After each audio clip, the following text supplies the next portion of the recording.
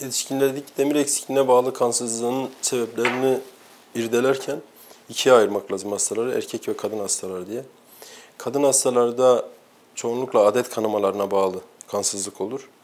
Adet kanamalarına bağlı kanamalar sonrası kadınlar eğer yeterince kırmızı et yemez, tüketmezse demir eksikliği anemisi gelişir. Erkeklerde ise eğer demir eksikliği anemisi varsa muhakkak altında bir mide veya bağırsak kanseri veya ülserlerini araştırmak gerekir.